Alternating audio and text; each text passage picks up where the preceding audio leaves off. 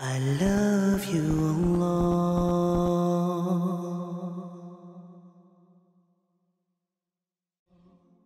So the Quran has left no loopholes, and the Quran also has not given the chance to someone or for someone to say, continue oppressing him because he will continue forgiving, no problem.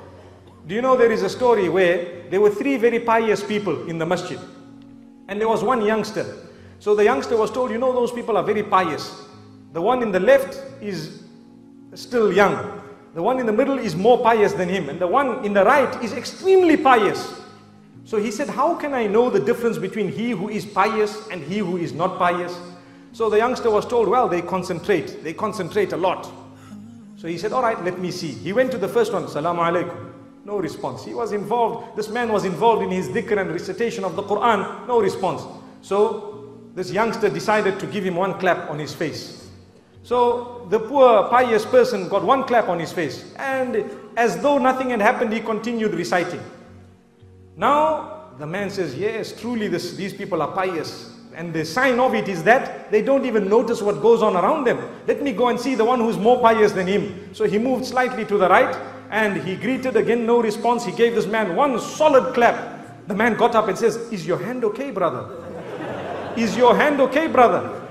So this man was shocked to say, he is not conscious of what happened to him, but he is conscious of the pain that came on my hand. Allahu Akbar. Look at how pious he is.